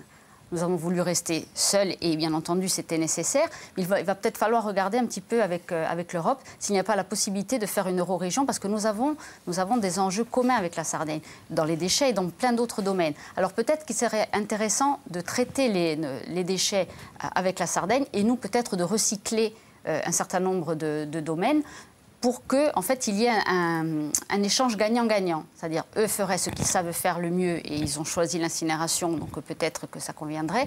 Et nous, on pourrait peut-être recycler euh, les, bouteilles, les bouteilles de verre, le carton ou le plastique. Donc effectivement, il peut y avoir un partenariat gagnant-gagnant. Et ne plus les envoyer sur le continent. Et ne plus les envoyer sur le continent. Enfin, en, tous les cas, travailler d'arrache-pied pour qu'il y ait un partenariat commun. Mais ça passe par une euro-région. Donc ça veut dire qu'il faut travailler au niveau de nos États, au niveau de la, France et de l'Italie pour arriver à créer cette, cette euro-région de pouvoir 140 000 tonnes à peu près de déchets par an, on peut avoir euh, deux usines euh, de oui, mais on, ne, on ne recycle plus, on envoie tout, on, envoie tout à la destruction. Jean Carré, sur ce Non, je ne crois pas qu'il faille opposer d'abord euh, recyclage, où nous sommes très en retard et où il faut de toute façon mettre le paquet, et étude de la solution thermique d'incinérateur. Et je crois que j'ai été le premier, pendant la crise des déchets, à remettre au cœur du débat cette solution du. Détrompez-moi, Jean mais il me semble que l'Assemblée de Corse soit revenue et révisé le pied de mât, le fameux plan d'élimination des déchets ménagers, et y ait supprimé toute référence à l'incinération. Ah, ça, c'est la responsabilité de l'Assemblée de Corse. Oh, je, je l'unanimité dans notre groupe. Il faut arrêter à un moment donné de, de prendre des propos eh ben, à l'emporte-pièce sans tenir compte de la continuité d'une action publique. il y a la continuité nécessaire. À il faut être, il faut être rigoureux dans le comportement. en tout cas, les élections, c'est quand même l'occasion. Il faut suivre ses votes. C'est quand même il faut rester solidaire au moins de son groupe. C'est quand même l'occasion. Il faut admettre qu'on s'est trompé. C'est quand même l'occasion de faire avancer le débat. Et en l'occurrence, je crois qu'il est important de remettre Absolument. Je, ah, bah, de remettre, de ah, la question de la valorisation des, thermiques et des, déchets euh, au cœur du débat. Nous l'avons dit, et j'étais le premier à, le, redire. Je ne crois pas que les quantités soient un obstacle. Maintenant, si on peut étudier des coopérations, pourquoi pas On ne va pas dire, euh, euh, on va pas l'écarter par, par avance. Mais encore une fois, ne fuyons pas nos responsabilités. Et ce qui est certain, c'est que je suis en tout cas convaincu, pour ma part, qu'il faut arriver à un objectif de zéro enfouissement des déchets dans un moyen terme. avec ce genre de, de, à, de horizon de 2022-2023. Vous avez 1% de déchets, c'est-à-dire l'équivalent de euh, un volume de. Pardon? Non, non. Vous êtes dans la théorie, M. Cagnon. D'ailleurs, vous n'avez pas de proposition, vous, assure. vous êtes en permanence sur la théorie. Non, non. Monaco fait ça depuis 1980 et ça marche très bien. Et on n'est pas du tout dans les mêmes volumes et dans les mêmes budgets. proposition, M. Orsucci. Nous n'avons pas les écoutez, Moi, je suis pour le tri. Je rejoins en, cela plutôt la proposition de la législative que la vôtre. D'abord, on trie. Ensuite, excusez-moi, j'ai un point important. Et on consulte le, peuple corps. Pour une fois qu'on peut les consulter. Si on s'en donne les moyens, oui, il y a des tas d'exemples dans le monde où ça marche. En même temps, alors, Paul-Félix Bénédette, sur ce point, je vous ensuite et on passe à la dernière partie. parce qu'il reste 15 minutes d'émission. Il y a un double échec de l'Assemblée de Corse, parce qu'elle a la compétence déchets au moins pour sa partie planification. Et lorsqu'il y a le PADD qui a été fait avec le PADUC derrière, euh, il n'y a eu aucune orientation stratégique en termes de choix de collecte, d'implantation et de choix de filière. Très juste. Ça veut dire qu'on a laissé se substituer à la carence des initiatives publiques des initiatives privées de partout, dont Talon, dont des solutions qui seraient de ne pas faire de tri, mais de trier à l'arrivée sur une zone euh, par exemple Talon, avec ces fameux tri mécanobiologiques, qui n'ont le mot biologique que pour faire, euh, pour, parce que ça fait euh, new concept. Mais la réalité, c'est qu'aujourd'hui la Corse ne trie pas et la Corse est en panne parce que notre stock aujourd'hui de capacité d'enfouissement, il est de même pas 100 000 tonnes on a 160 000 tonnes à collecter. Avant la fin du mois d'août, on déborde. Donc qu'est-ce qu'on fait? Là, il faut qu'il y ait une, prise en compte des carences. Et ensuite, on doit se réorienter vers des filières où on doit commencer par l'éducation du tri. On doit commencer à le mettre dans les écoles maternelles pour que les petits apprennent tout de suite qu'il faut au moins quatre poubelles. Ensuite, on doit venir dans les établissements publics. Et pour que déjà on réduise notre fracture euh, sur, sur les masses et il faut aller vite après on ne peut pas adapter. Non mais allez vite allez vite malheureusement. on, a 5 ans. il n'y a plus rien. en même temps. José vous concluez sur ce point et ensuite on passe aux institutions. si demain nous sommes majoritaires le plan régional concernant l'élimination des déchets est remis immédiatement en discussion pour une revision. Voilà, point de barre. D'accord, alors on passe à la dernière partie de l'émission. Pour une révision, hein, c'est une création. Hein. Où la puissance publique prend la main. On passe à la troisième partie. Monsieur Cagnone, c'est terminé sur l'affaire des déchets. On parle sur les, on parle sur les institutions et, la politique. Alors la mandature va être marquée évidemment par la mise en place de la collectivité euh, unique. Pour l'instant, pas de consensus. Les ordonnances vont être euh, rédigées durant l'année 2016. Euh, Alors, votre position aux uns et aux autres, est-ce qu'il faut créer un établissement public de la collectivité territoriale, c'est-à-dire une instance non élue, ou alors il faut une deuxième assemblée? Comment est-ce que vous... si vous, soufflez, vous soufflez. Qu'une seule assemblée. Je peux commencer Allez-y. bon, moi je pense que c'est un moment extrêmement important. Et il faut prendre acte, Emmanuel de Gentil, il a dit que nous sommes la, région démographiquement la plus faible, la plus isolée, et on ne peut pas être traité comme les autres régions. Alors la collectivité unique, c'est la reconnaissance de notre organisation insulaire, mais, et je reviens un instant sur la dotation, quand je vois les autres grandes régions découpées parfois sur un plan un peu électoral, bon, mais qui ont une réalité économique importante, c'est des monstres économiques et financiers, elles sont désormais presque au niveau des régions européennes, plusieurs millions d'habitants. Quand il y a des problèmes de solidarité à assurer sur ces régions, eh les Bordelais, l'Aquitaine, regroupés avec le Limousin, ben, les Limousins, les, les Bordelais, ils payent pour les Limousins les Rhône-Alpins, ils, payent pour les Auvergnats qui sont associés avec eux. Nous, la solidarité, vous allez l'organiser avec qui? Est-ce qu'Ajaccio et Bastia, dans l'état de déliquescence où sont les finances communales des deux côtés. Est-ce qu'on va payer pour le rural? Ils n'y arriveront pas. Est-ce que le rural va aller chercher l'argent dans des caisses qui sont vides au niveau régional? Donc on a besoin de cette démarche de solidarité interrégionale. J'y reviens Ça, plus. vous l'avez dit. Bon. Alors pour le reste, je souhaite qu'il y ait une unité, une unité de la région, qu'on joue de la déconcentration sur le terrain le plus possible au niveau des administrations, au niveau des organisations, mais garder, garder l'unité de, la région, parce qu'on on ne va pas supprimer les deux départements pour recréer, recréer une structure, quelles que soient les délibérations consensuelles de l'Assemblée de Corse sur ce sujet. Et d'ailleurs, le gouvernement n'est n'est pas d'accord, il a raison sur ce, sur ce point. Bon, je, je- je pense par contre qu'en réfléchissant sur les modes de scrutin, pour ne parler que de l'organisation, on peut peut-être rapprocher les élus du terrain et travailler dans le cadre des anciens arrondissements, dans un cadre proportionnel et régional. On peut le prendre au niveau des circonscriptions législatives. On peut rapprocher autant que l'on veut les élus du terrain en gardant l'esprit proportionnaliste. Mais par pitié, gardons l'unité et les atouts que va nous donner l'unité. Jean Soukaril, collectivité unique, unique, ou alors. euh, Collectivité unique, nous l'avons soutenue. Et j'ai œuvré avec d'autres pour que soit pris en compte le caractère déconcentré de cette collectivité et que soit installée euh, à Bastia la Chambre des territoires. C'est le sens de la délibération de l'Assemblée de Corse. Il y a un côté un Qui- peu campaniliste quand Ah, même à vouloir. Non, non, non, euh, pas- Attendez, je- si je peux terminer mon Oui, oui. propos. Je vous en prie. Euh, donc, nous avons œuvré pour que la délibération de l'Assemblée de Corse euh, reprenne à son compte ces préoccupations que j'ai, notamment, je n'étais pas le seul, exprimées. Seulement voilà, l'esprit de cette délibération a été trahi dans le vote définitif de la loi. Aujourd'hui, il n'est plus fait mention de déconcentration de la collectivité, il n'est plus fait mention de chambre des territoires. C'est extrêmement euh, préoccupant. Donc, en l'état, ce projet ne nous convient pas.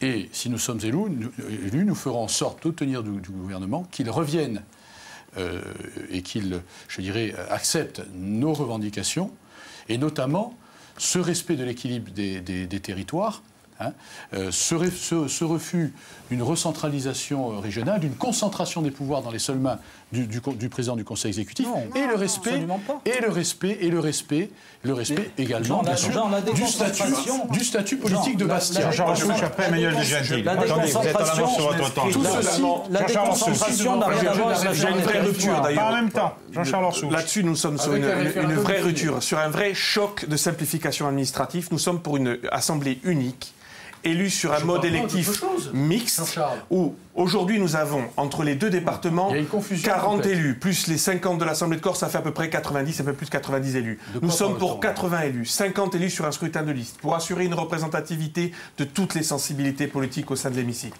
Et 30 élus élus sur des, sur des territoires précis. Là-dessus, je le dis aussi, une différence majeure, notamment avec une proposition de Camille de Rocasser. Nous sommes contre la féodalité. Nous sommes contre cette vision, cette féodalité qui était incarnée par les départements et qui serait aujourd'hui transférée aux intercommunalités. Les intercommunalités ne sont pas prêtes. Il ne faut pas aujourd'hui créer de nouvelles féodalités. Là-dessus, on donne à la collectivité territoriale de Corse les moyens, une politique, et je rejoins mes prédécesseurs sur ce sujet par contre, de territorialisation des politiques publiques. Là oui, une déconcentration, non pas ce que vous proposez, une France déconcentrée là-dessus, moi je m'inscris totalement en fait. J'ai lu dans votre programme que vous proposiez une France déconcentrée. On France. était à la troisième ou la quatrième République. Oui, Une mais dans, France. dans- dans votre, pro- dans votre programme. Non, non, nous aujourd'hui nous disons, jamais. nous disons aujourd'hui qu'on veut une forte, une Corse autonome qui a une politique décentralisée à travers une politique de décentralisation. Juste un élément. Il y a une confusion totale. Sinon, on, est- on- on part sur de fausses bases. Il n'a ja- il ne s'est jamais euh, agi de faire une deuxième chambre. Quand on parle de chambre de territoire, on parle bien, c'était la question que vous posiez, établissement public. Public, d'accord. avec les mêmes élus. Pas d'élus, d'accord. Jean-Charles, donc on répond à côté de la question. Voilà. Fallait-il ou non cette chambre de territoire Je crois que ce n'est Moi, pas je dis oui. la présence de et il faut 30 un référendum, et il faut un référendum pour revenir devant le peuple. Si la loi, Emmanuel de si Gentil, qui a beaucoup de retard dans son temps de parole. Oui, je crois qu'aujourd'hui, ce qui est important, c'est effectivement qu'il y ait une, re- une re- recentralisation de, de- de toutes les politiques globales au niveau de l'Assemblée de Corse, mais ensuite qu'il y ait un travail avec les territoires. Alors ce travail, il doit, il doit, être, euh, il doit être visité euh, de plusieurs manières, et entre autres avec les intercommunalités. Il faut aider les intercommunalités à se structurer, parce que de toute façon, ça se fera malgré nous. Donc je crois que le rôle de l'Assemblée de Corse, ça va être de travailler de manière très différente avec les services de l'État et avec les territoires pour essayer de réorganiser, de faire, de faire accélérer la prise de conscience de, de, de l'intérêt des intercommunalités vis-à-vis du développement des territoires. Donc, je sais, non, non, non on n'est pas en opposition là-dessus. Je crois que ce qui est, ce qui est important, c'est qu'il y ait euh, une déconcentration des compétences, des compétences au plus près du citoyen. C'est-à-dire que toutes les politiques locales doivent être ramenées au plus près du citoyen pour qu'il y ait un service public aux citoyens. Et ce n'est pas le fait qu'il y ait 30 élus de plus à Bastia ou à Ajaccio qui va changer le service qui sera, qui sera donné aux... Christophe Cagnoni, sur ce point, vous concluez. Après, on arrive à la conclusion de l'émission. Oui, le Front National a toujours été euh, pour une politique euh, départementale. C'est-à-dire que les régions, les départements. Sur les départements. Les régions, euh, aujourd'hui, seront calquées sur les, sur les landeurs allemands. Donc le Front National, lui, a toujours été contre cette, cette nouvelle architecture. maintenant, en Corse, nous avons la collectivité unique. Moi, je, je rejoins ce qu'a dit M. Tsoukari tout à l'heure. Effectivement, il faut un référendum avant d'aller plus loin euh, au niveau institutionnel, parce qu'il ne s'agit pas d'aller vers une, indépendance de la Corse ou une tutelle sous, euh, euh, bruxelloise, comme je l'ai entendu hier de la part de Julie Simeone. Mais c'est trop tard, on est dans la mise en œuvre aujourd'hui. Euh, pour revenir en arrière. Très, très vite, avant d'arriver à la conclusion. Non, non, on repart sur le débat. On termine avec Félix C'est inacceptable. C'est trop tard. Il reste 6 minutes d'émission. C'est une collectivité euh, unique, avec un pouvoir fort. Euh, articulée euh, en liaison directe avec des intercommunalités qu'elle créerait elle-même et auxquelles elle donnerait des enveloppes dans des actions stratégiques qu'elle ciblerait, donc par exemple l'action sociale, par exemple, ou un contingentement sur des dotations pour des voiries. Mais on ne peut pas avoir euh, la volonté de recréer euh, des ersats de conseils généraux et des seigneuries locales avec des votes à la, au scrutin direct euh, sur des petits territoires. Ça, c'est refaire exactement un scénario à, à une action claniste. Donc nous, on est contre. Même analyse. Il nous reste 5 minutes, 5 minutes pour euh, évoquer très brièvement euh, ce qui va se passer euh, à partir de dimanche soir. En commençant par vous, José Ross, si vous avez annoncé très tôt la fusion des deux listes de droite, tout va bien. on appliquera, vous appliquerez le programme du. Écoutez, si le Front National franchit le, Front National franchit le seuil, pour se maintenir, bon, en gros, il faut un peu plus de 30% pour être élu à l'une des trois familles. La, la, la gauche, la droite rassemblant Camille Drocasser et moi-même, et puis euh, les nationalistes. Bon, le problème des nationalistes, bon, s'il doit y avoir alternance, alors je le dis très clairement, si la gauche perdait ces, élections, je pense qu'elle va les perdre, parce qu'elle a à la fois un problème national, le courant n'est pas favorable. Le courant n'est pas favorable, et, en Corse, le, bilan euh, est assez désastreux. donc, il, va y avoir alternance. Mais je pense que les nationalistes ne sont pas prêts à cette alternance, tout simplement parce que Siméon est à la mode, et c'est les autonomistes et les indépendantistes. Et je pense que le vote autonomiste sera entaché par le risque indépendantiste. Donc Camille Drocassa et moi-même, nous fusionnons. Celui qui sera en tête conduira la liste au deuxième tour et sera le candidat à la présidence de l'exécutif. Pas d'autres alliances, donc Écoutez, non, on n'en a pas envisagé. On a un accord entre nous deux. De toute façon, si nous avions une décision à prendre, nous la prendrions ensemble, lui et moi, moi et lui. Christophe Cagnon. Écoutez, on sera au second tour, monsieur Rossi, je pense. Et puis, euh, on se maintiendra. Il y a, la liste, euh, il n'y a pas de problème.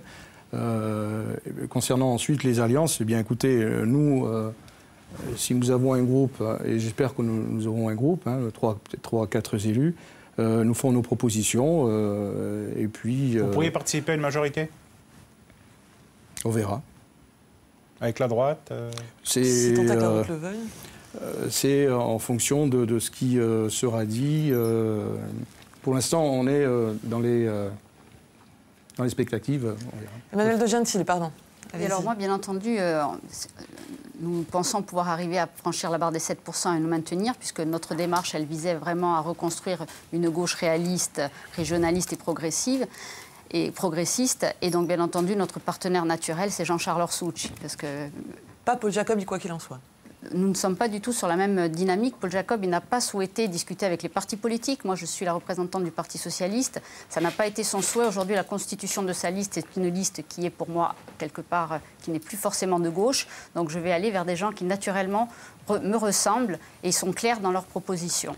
Donc, Jean-Charles Orsouch, Gilles Siméon on pourra discuter avec toutes les, formes, toutes les formations politiques qui vont vers le progressisme, vers le régionalisme et vers l'autonomie de la Corse.